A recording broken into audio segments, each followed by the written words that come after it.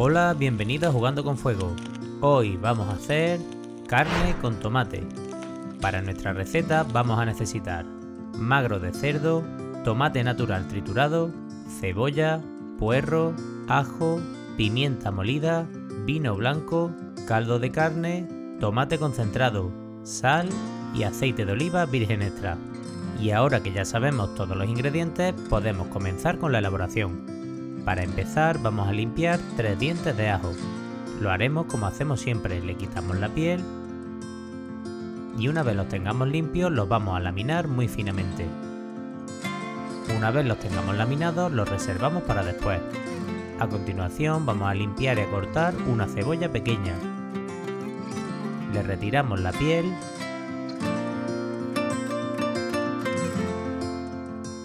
Vamos a cortarla por la mitad. Estas mitades las cortaremos transversalmente y después las cortaremos en brunoise muy finas. Cuando la tengamos cortada también la guardaremos.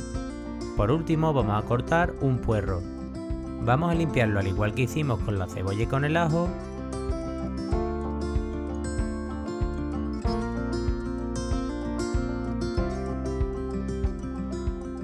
y una vez lo tengamos limpio vamos a darle un corte a la mitad y estas mitades a su vez las cortaremos en cuartos.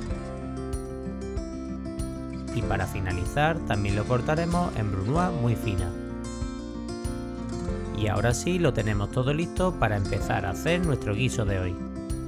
En una cacerola amplia vamos a poner 30 ml de aceite de oliva virgen extra Vamos a esperar a que se caliente y vamos a añadir el ajo laminado que teníamos cortado de antes. Lo vamos a rehogar un poco hasta que coja un poco de color. Y una vez estén dorados vamos a agregar unos 800 gramos de tacos de magro de cerdo.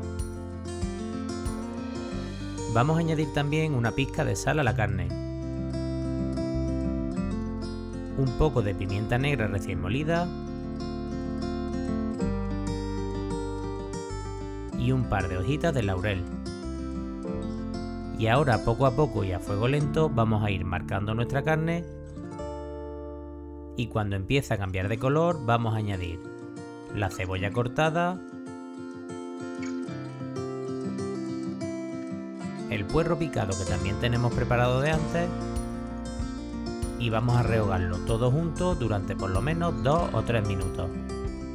Una vez pase este tiempo y observemos que la cebolla y el puerro ya se han aflojado, vamos a añadir 250 ml de vino blanco. Dejaremos que hierva durante un par de minutos más para que pierda el alcohol y vamos a añadir 700 ml de caldo de carne, unos 700 gramos de tomate natural triturado, 60 gramos de concentrado de tomate y una pizca al gusto de pimienta negra recién molida.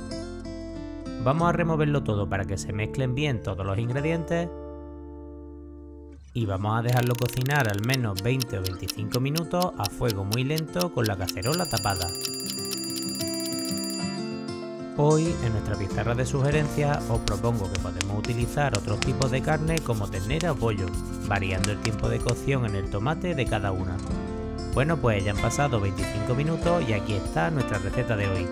Un clásico de la cocina española que no podía faltar en el canal. Y ya sabéis lo que siempre os digo, dadle a like si os ha gustado el vídeo, suscribíos a mi canal si no lo habéis hecho y dejadme un comentario si tenéis alguna duda. Muchas gracias, adiós.